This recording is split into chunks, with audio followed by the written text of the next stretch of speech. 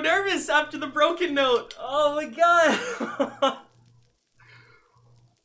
Holy shit. Whew.